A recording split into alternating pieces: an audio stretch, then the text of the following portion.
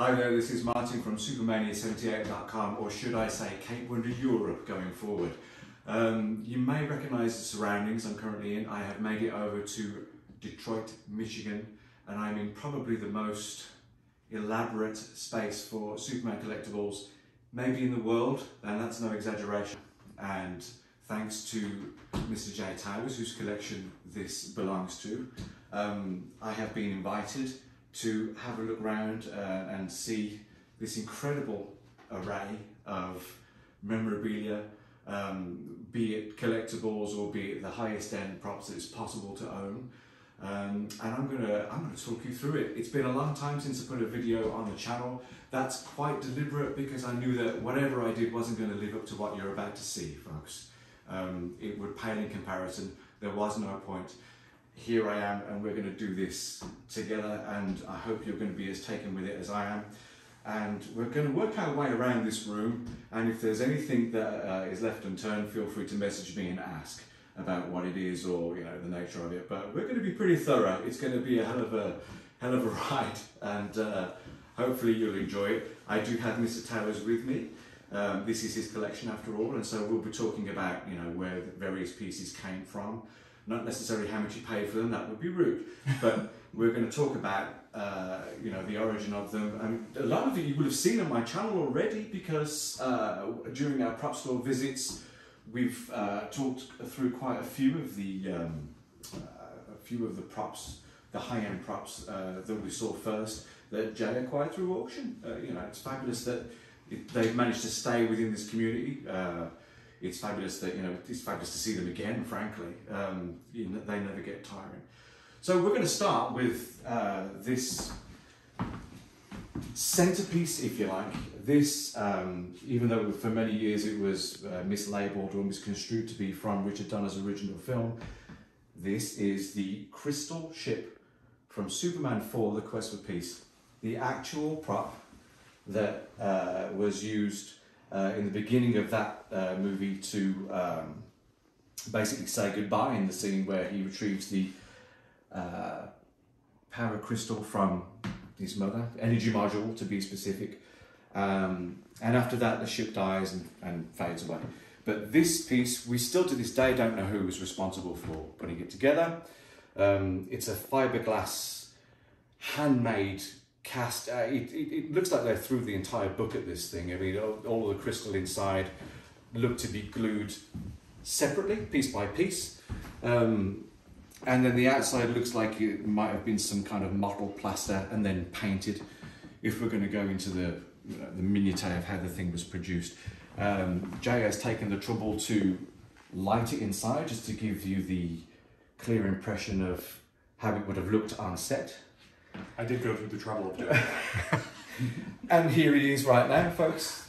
Mr. Jay Towers himself, purveyor of the Superman Museum. When I saw Martin Lakin go through the collection of Andy Hanton at his house, I said, I hope one day to be one of your subjects. And here we are in the United States with this guy going through my office. This is better than having Antiques Roadshow here.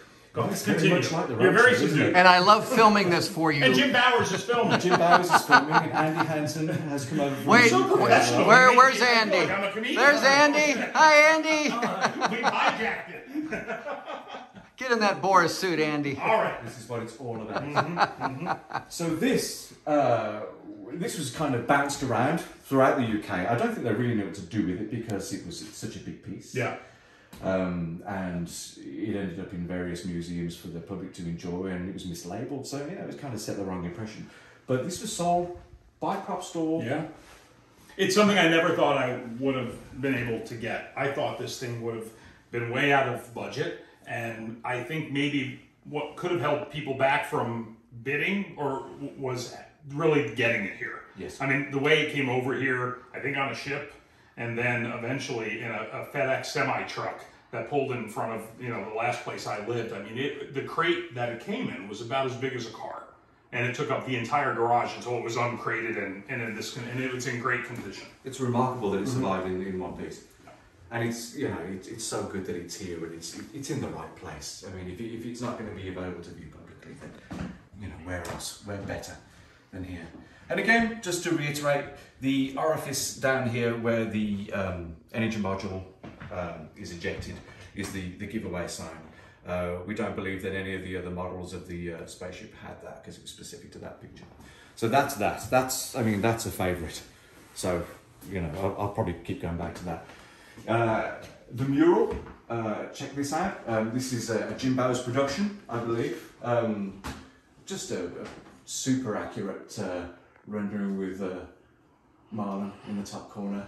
Bob Peak's artwork. I think we made the effort to have the signature in, just to be sure.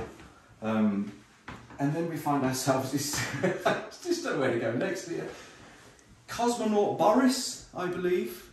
Superman 2. Can you do an impression of Cosmonaut Boris? Does you know where it says? That's much cool. A good year, something like that. We've all said it. Yeah, we've all done it. We know we have. Um, this, what a, a spectacularly elaborate piece this is. Um, spacesuit with, oh God, there's a, it's one of those unmistakable things when you look at it closely, and hopefully the image picks it up too. That with all film props, this is very reminiscent of something from Doctor Who, where you know they they're kind of they put things together in such a rush, and you know they they use household objects. I can see that these are screw caps from something. Um, they're just plastic and they're just spray painted and glued on. Uh, this is a foil covered uh, boiler suit that's peeling in some places, which has just literally given me the idea that that's what it was at one point. Plastic plates glued on just to emphasize the fact that it is in fact a space. spacesuit. This neck collar piece would be probably uh, original from something. Um, definitely, uh, it would be hard to replicate that in such a fashion. So that that is uh, a, a genuine helmet And the zipper on it is the strongest thing, believe it or not, in the back. Really? The zipper is the heaviest zipper I've ever seen. Right. So it could have been surplus, if, if there is such a thing, surplus spacesuit. I've always felt that this plate looks like one of the plates on his harness for flying, Okay. where the wire is Mounting plate, connected, yeah. a mounting plate. That's not that's not outside the realms of possibility at all. But yes, this is um, this is what Terran, this is the ankle that Terence Stamp grabbed to Mm-hmm. boot him into the stratosphere. Uh, fragile sort of life forms. um, Let me share one other thing, if I can. yeah. Um, Joe, while, while we're here, where did this come from? this is prop store. Prop store again. You can check on your side too, but you have here are the, the slits here for the harness on each side. Excellent. So when he's hanging upside at that. down, I mean, there, there you can you see that, Jim? The same Absolutely. reinforced seam that they would put in all of Chris's costumes so they wouldn't Yeah. tear under the stress of being elevated by the cables. Beautiful what a piece. fabulous piece. It's no more words need to be spoken. It's amazing. And preserved after all this time, 1980, 1979, 80s when they shot with this, Yeah. just for the one scene. It's in good shape. I It's wish I had the boots shape. for it. Yeah. I, I wish we had the helmet for it, but I mean, it's and it has been. You know, these are not. I don't know where these came from. That, yeah. that's how they were the arrived. production made Yeah. Yeah. We've got everybody here, every star. Most of them appearing, I'm so pleased to say, at Motor City Comic Con this very weekend, which is why we're here. Jay works tirelessly, more than any fan I know, to bring this community together. Crystal from the Fortress of Solitude. a crystal a crystal from the Fortress of Solitude. There it is, pictured as in its original state in the console. And these things, these are really curious pieces as well because there are so many of them produced. Um, they are all, as far as we know, uh, made from uh, acrylic. They were never actual crystal. Um, they were all cut in different ways, so no two are alike. So every facet that you're seeing from from here doesn't match another one. So if you get if you get opportunity to even see one of the things, never mind to like you know having an elaborate display like this, but you know it, it's it's one of those things where I mean, there's lots of replicas out there now. I mean, we've caught up with that in a lot of res- respects, but you know, the the old stuff, the screen use stuff, is always that much rougher. It's always that much less refined because it's you know it's used in shots to be lit and light covers a multitude of sins with everything, which is why, you know, when you when you look at the uh, the astronaut costume again from a distance, it looks seamless, but when you get up close, you can see all the damage and you can see the fact that it's not actually, you know, stitched together with all that much love. This is this is film memorabilia. These are props. Um, this next thing I want to point out. This is a beautiful uh, aside. Um, this is the setup uh, worn by Margot Kidder herself for Superman 2. This olive shirt and uh, pink jumper, um, very uh, 80s in its execution, um, was worn for the scenes where she throws herself mercilessly into the Niagara Falls. And I don't know if the camera is, just, is, a, is a replica, I don't think it came with the set, but um, Jay will confirm. But that camera is the same make and model as what we can see she's using here for that very memorable scene where she jumps into the Niagara Falls expecting Superman to save her. Polaroid one step. Polaroid one Step. is that the make and model? Yes. Very good. Um, and these were these were really prevalent in, the seventies and eighties. I remember them uh, very well. Um, and so, you know, another wonderful and uh, presented beautifully, I have to say, mounted as it should be on a mannequin and shown off. Um, quick nudge to the Christopher Reeve autograph on this uh, US one sheet poster, um, which just so happens to be Mrs. Tower's birthday. I'm reliably informed. I mean, how wonderful is that? What are the chances of that? More to the point. As we move round, we uh, come across the snakeskin overcoat worn by Gene Hackman for the climatic scenes of Superman for the Quest for Peace, along with his pinstripe trousers and his two-tone shoes, uh, which both I've just noticed have splits in the back. That's interesting.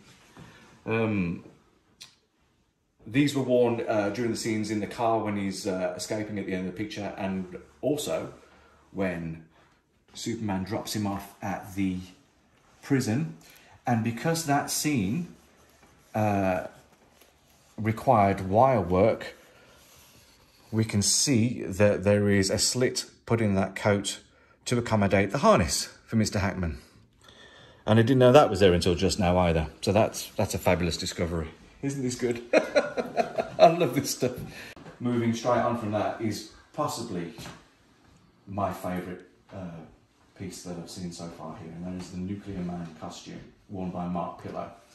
Um, this, designed by John Bloomfield, um, this is so elaborate. And it, I don't think the screen really gives it that much credit because when you look at it in real life, what's really uh, kind of mesmerizing about it is it's the effort they've gone to these what appear to be glue down dots or iron on dots, I would probably venture to say, because I say they're iron on because to me it looks like they've, they've started life as uh, pages or, or sheets, I should say, of dots, and then they've cut them into the required shape and then they've ironed them on. That's how they've managed to get this beautiful kind of. Uh, and in the context of the film, we're led to believe that a computer weaves this, which is, you know, I'd love to get hold of one of those computers and do something similar. Velcro attachments here to keep the belt in place because this costume didn't have belt hooks. I'm fairly sure, I'm fairly certain. So that would hold that in place. No sleeves, uh, so you have like a central tunic and with the tights pulled over the top. And it's just, you know, it's, it's, a, it's a genuine, kind of a bygone age superhero costume, but it, you know, it, it's just fantastic. Absolutely fantastic. And just a, a, if we look here, we can see it as it was used, accompanied by a set of uh, leather gauntlets, cape, and the silver belt without the loops. I was right on screen. One, one of my favorite things, Martin, with this is, and Jim, if you could show this here, you see, um, we're, we're, we're missing some, some dots here. You can see there's a, a pretty obvious chunk there, right? That's missing. And if you look to the television now, Jim, uh, where Martin is, and, and kind of zoom in, you'll see that there is the scene and there is the costume. And that, folks, is what we call Screen matched. unmistakable provenance. This tunic uh, comes from the Movieland Wax Museum, and this was kind of Jay's this was your introduction to Superman. This Yeah. is this is this is what really this is what captured you. And you were how old? Jeez, I, I think, you know, I saw Superman the movie in early 1979, and I was about to turn four. Yeah. And then close to the end of 79, 80, we went to the movie, not Movie Land Wax Museum, we went to the Stars Hall of Fame Wax Museum Right. in Orlando. And I will grab this, but here I am um, in front of, and you can imagine long before the internet, seeing something as close to what you know of in the movie like this, I mean, is, is pretty unbelievable. Explain the difference between the two sites. So this this whole Fortress of Solitude display and setup was in both Florida and Yeah, LA. it was at first at the Movie Movieland Wax Museum, and you can see there's an ad for it. There is this tunic in this ad, Right. which is the great thing. I mean, I mean, you you can find a million photographs of this tunic, and it's because of this. So they did two displays. There wasn't one that they moved from one location to the other. Right, Right. right. The story goes is that Christopher Reeve came personally in to uh, be measured for his mannequin, and whilst doing so, made a phone call uh, to the UK to have costumes shipped over. So what you're looking at is a genuine Superman the movie tunic, which is exciting enough in its own right. But if you look closely, you'll see that uh, as a consequence of all, are, how these things go, is that they all fade. Everyone, that every Superman the movie costume I've ever seen has an element of fading in it, and this is no different. This isn't nearly as badly as faded as I thought it might be. Actually, I think this looks still looks in terrific shape.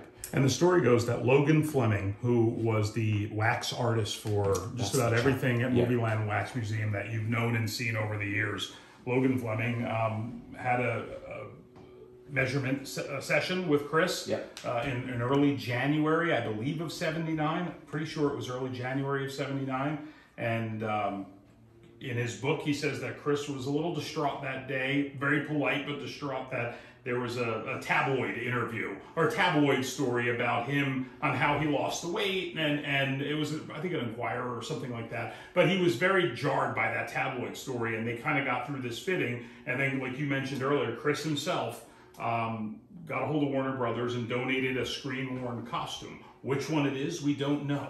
Um, but obviously, it was to his measurements specifically because that's he was measured, and then he just got a. They sent over a costume, so they had to fit based on his measurements.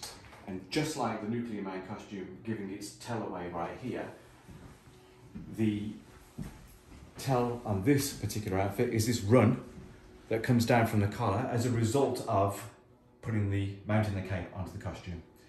And it didn't escape all of the photography associated with promotion of the museum itself.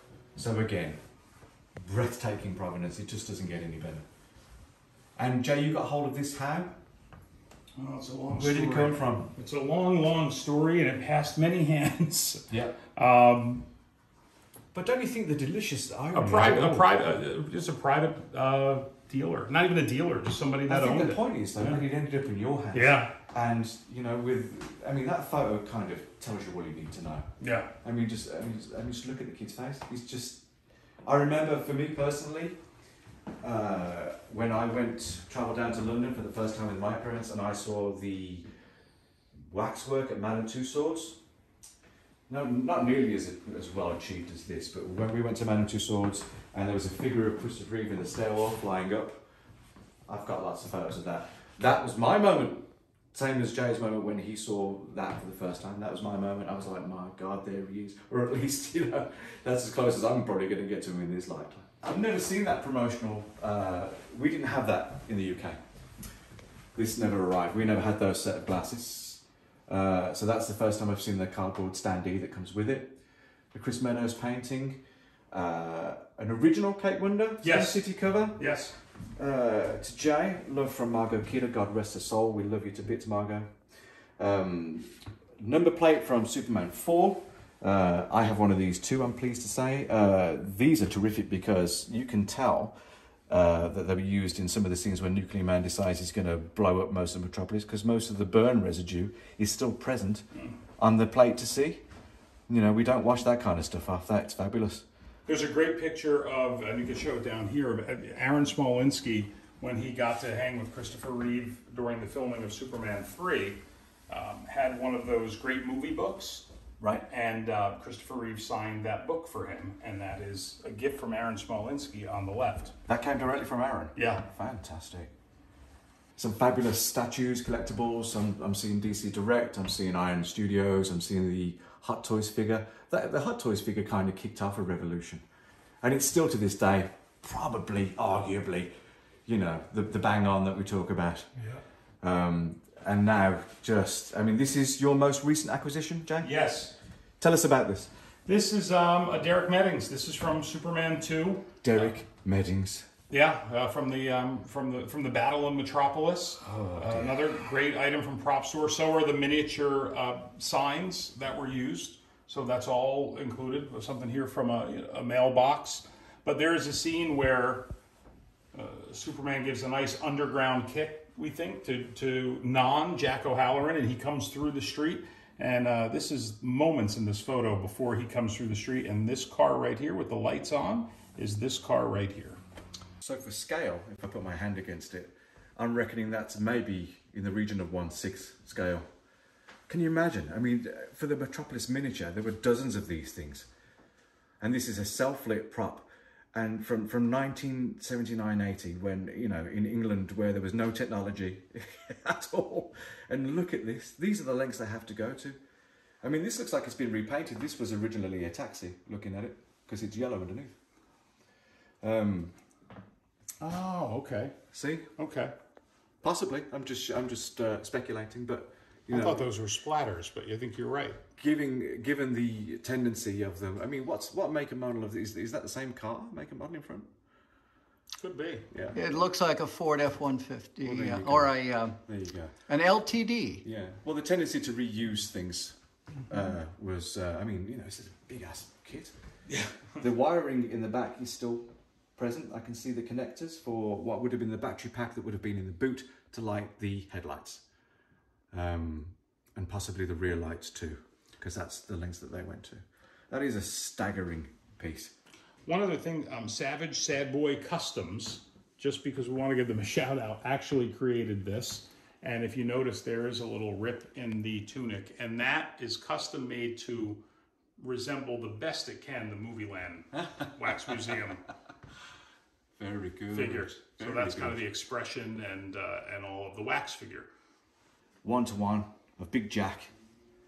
Um, fans, if uh, you're familiar with it, you've probably seen the black and white still of Stuart Freeborn uh, putting the finishing touches on these things. There were a set. There was one made for every every principal cast member, and this, as far as I know, is the only existing copy of Jack. We can see that uh, the, the ears were added later, and they were foam, and we know that because the foam has degenerated like foam does. We also can see that uh, we didn't cast the top of Jack's head because that plate on top was fixed on later. And we can also see glue residue around the chin and around the moustache area because that's where they would have glued on the hair pieces, some of which still remains, still remains after 40 years. Can you get your breath? It's amazing. Film history, as we speak, right in front of you never gets tired. What an amazing piece, even signed to my friend Jay from Big Jack himself. Next to that, another gorgeous piece, another piece of uh, crystalline acrylic made specifically for, well, we still haven't, we're still arguing amongst ourselves where this came from because there's a still, uh, there's a little sequence in the making of Superman 2 where it looks like one of these appears on somebody's, a draftsman's desk at the art department. Um, in the meantime, I was convinced it was from Superman 4, the deleted scene with the guy that they got to fill Jor-El's costume out. It looks like there's a whole set of these in front of what they uh, they uh, rebuilt the uh, starship from. But again, it's just one of those things. All we know is that is that it's a fabulous production used piece. This is a radar tower uh, from Tower. the Eiffel Tower Yes, and that's the railing from the Eiffel Tower. from Superman, the Superman 2 miniature. This, which you may or may not know, Jay, came from a fellow called Steve Camden, Steve Camden, uh, I've been in touch with for decades. Steve Camden was the original operator for K9, the Doctor Who's robot dog. That's how he got started in the industry. He was a young kid and he knew his way around a remote control, and so he piloted K9. He went on to work at Pinewood, where he uh, delivered Christopher Reeve his mail, along with all of the uh, principal stars. And he said that Chris was a very shy, self-effacing young man. And besides these pieces, uh, this this tower and this railing, I think Steve had also pieces from Moonraker and a couple of other Bond films. Tell me about the figure. It came came with the Eiffel Tower uh, miniatures. So during that sequence in Superman 2 where they're just about to blow the lift, there's a couple of technicians on top of that tower, and I think that that doubles up. And then you also have the baseball from Superman 4. What That, uh, an is incredible piece that is. Tossed at Clark to, to hit. So this was a prop store. We've seen this piece before, Yeah. but this was the one that was uh, actually used on set for Chris to take a swing at, because he never could hit a curveball. Metropolis Police Badge, Jay. Yes. Tell us about that. I feel like that came from Alexi. Our Yeah. friend Alexi. Our friend Alexi, back in the UK. Shooting stage sign from Superman 2. Pinewood. Yes. Yep. Look at that. I mean, And an original ticket to the episode of Saturday Night Live hosted by Christopher Reeve. Ah, very good. Boy, this is one of my favorite things ever. Um, a great, great gift from Mr. Jim Bowers. But these are uh, pieces of blanket material from Superman the movie that uh, Susannah York holds uh, young, uh, young Kal-El in, yellow and blue. Jim, you can speak to it. Yes, uh, I actually acquired this directly from Ilya Salkind. Wow. And uh, these were the blankets Yes. material, fabric, uh, extra that was used uh, in the Jor-El laboratory. So, being as this is encased exactly as it should be, it's kind of difficult to uh, to elaborate on it. But what I can tell you straight off is that I can see a border of fabric around the top of that. That is the reflective 3M material, Yes.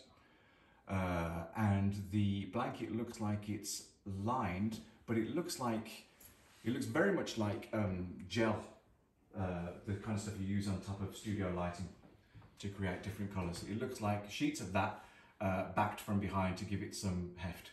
And and when I threw direct light on this for Yes. photography, Yes. both of these, particularly the yellow one, Yeah. glowed very brightly. Ah, like just like it does in the picture. Right. It's hard to see, but you can. I'm shining light on it now, Yeah. and uh,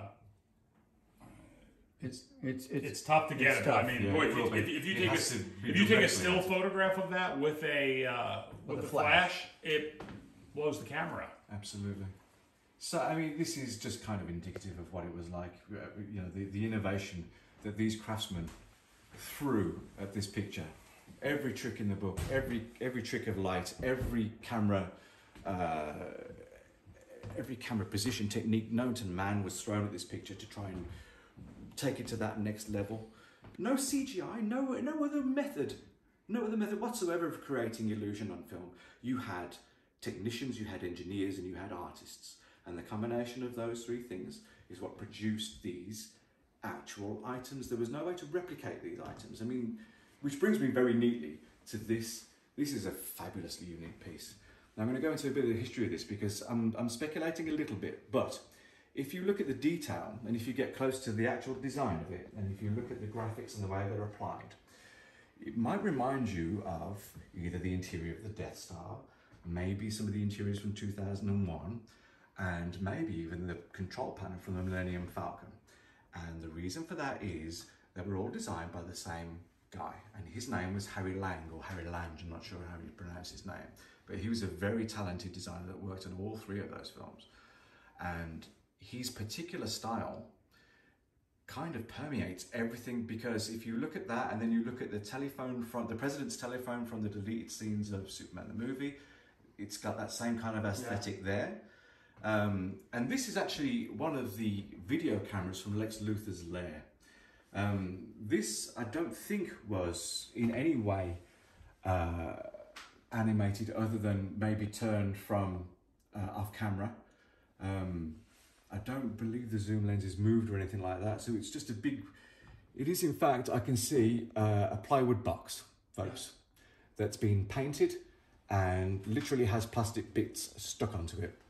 And there is a wooden dowel at the top, a metal rod, probably with a ball bearing on top just to move it round, and a bit of cable, a bit of flex to put between. It's just so good.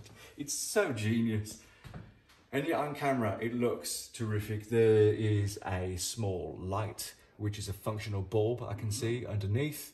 Um, probably powered by the same flex that was we're led to believe is what's powering the camera. It is enormous. It is about 14 inches along this box. Where did this come from, Jay? This uh, came from a eBay purchase. Just a man on eBay who said he was saving up for a wedding and uh, wanted to part with some things. So What kind of person has something like this I don't know. stashed away in their shed, just waiting for the right time for somebody like us to come along and go, we'll take it. You And look at can you can see this uh, when Ned Beatty is walking through as well. Yes. If It's you, in the if you step over shop. Andy this way, we look at the television. There again. There we go. Ah, There's there's the- the light. So, folks, if I draw your attention to that, look how the thing photographs. I mean, you'd never guess that what you've seen there, this wooden box, looks so incredibly convincing on 35mm film. This was motorized. That couldn't be saved, but they're all still in there. So there was a motor in there. There is a motor in there, yeah. This is mounted here, um, but above there, I do have a nine volt battery, and if you mess with it the right way, you can get this light to come on. But you can see everything it does in the movie, from its turn Pan and tilt. and its tilt, all you know, still today do that. It's just it's, it's fried inside. What are the chances? so we think this was used in the fire and ice scene. This was uh, blasted with uh, all sorts, for want of a better expression, uh, during the gauntlet scenes. Um, and the fact that it survived in such pristine condition is, you know, fabulous. I mean, there he is, folks. This is what it's all about. We miss him, don't we? Hmm. Yes. Yeah. Certainly do. And there's nobody like him. Nobody looked. Nobody looked like him. To this day, nobody even resembles him. He's just, uh, you know, and what you're looking at now is just living proof. There will never be another one like him. If you pan down, tell us about this, Jay.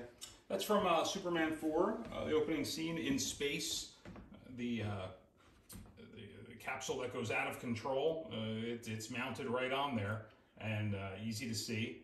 It is, uh, it is not the miniature, it is a full size. It's attached right to the top, and there's a shot of Chris when he stops that and slows it down, and, and, you'll, and you'll see it right there. There's only one of them on the capsule, so that was attached to the life size one that he landed on. Again, not a, not the miniature version. That's why it's so big. It is big when you actually pick it up and hold it. Uh, it's a painted wood centerpiece with attachments. Uh, the cups or the jets or, or whatever, I'm not sure. They could be plastic or resin casts. Um, but it, it actually looks like a, a piece of NASA machinery, which, you know, with a, a, a rattle can and a bit of red tape, isn't it amazing what you can uh, what you can produce? Because that that looks that's quite dangerous. I don't want to touch it. So it's yeah, it's all convincing stuff. Uh, full costume. Uh, we're going to be talking about this later. This oh, I don't know where to begin with this. What a it is exactly what it says on the tin. Um, bust from what's this chap's name? Admiral Mick. Sorry? Admiral Mick. Admiral Mick, who managed, who managed bang on, didn't he? He did manage He managed bang bang on, on. That is a fabulous sculpture. And so, that is a very, very brief, believe me, overview because I could go on and on and on. We'll finish where we started. Yeah. This is, uh, I mean, I'm taking it this didn't come from IKEA. Pal, so no. you want to tell us about this and the fact that we're going to be taking it back to the UK Right. with me because Andy set his heart on it and it seems such a shame to deprive him of it. So, yeah, This is, um, you know, Tom, Tom Spina Designs. So if you look up on, on the internet there, uh, he creates really amazing. Tom Spina did this. Tom Spina, yeah. Wow. Yeah, uh, when I first got this house, and I just said, you know, I, I know I want to have this room, and I just want a Fortress of Solitude desk. And when you type that in online, the options weren't that what I was looking for. so I said, I he said he, you know, he said, do you do you want to commission me to do it? I said yes. He gave me a page of designs. There are about five different versions of this that So he drafts? They drafts, yeah. And I I picked the one that looked to me like the Fortress of Solitude from afar. Absolutely. That, that you saw after you know Jeff East created it, and that's that's that's how I wanted it to And look. it's made from It's yeah, it's styrofoam. It is painted in a material that they use in theme parks to make sure it's as it, you know. He said you can paint uh, a watermelon with this material and drop it off of a cliff and it won't break. So it's very very sturdy. It's in three pieces, and they actually found a desk, bought it, and then built this around the desk. So it comes away in pieces to be cleaned and vacuumed and, and fits all back mm-hmm. together nicely. It's amazing how closely it resembles the actual set. Yeah, I mean, the, I mean these The columns here. it. I mean Yeah. that's what they do. They really nailed it. the finish of it.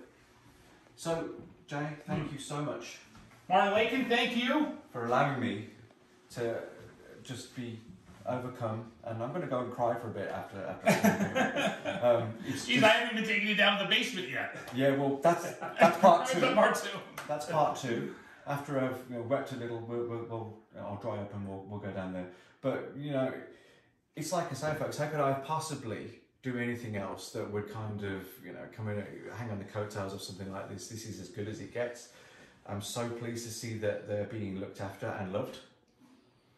Um, I buy things to own things, not to sell things. So this is this uh, stays with me. And that's all the motivation that anybody really needs. And uh, you know, I know they're investors. I know people want to flip this kind of stuff, and it's all out there still. But when you see it, it really comes home when it's all in one space, and when it's presented in such a fashion that you know that whoever whoever it is that owns it is really in love with the subject, as we all are here. Otherwise, we wouldn't be talking about this. You wouldn't be watching it, and you know, it's just yeah there's nothing that doesn't catch your eye here. So I, I get migraines. I, I, I don't know how you cope. If you're sat at this desk, you must have such a, a great feeling of, you know, your accomplishment all being around you and being reminded constantly of this in, this whole kind of gamut of history of these pictures because they mean so much to us. Yeah. they just they just do, don't It's a very positive workspace. It really is. I mean, whether I, that. you know, it- this is where I do a lot of homework, but yeah, it, it's a great happy place for me to be. And uh, like we talked about so many times,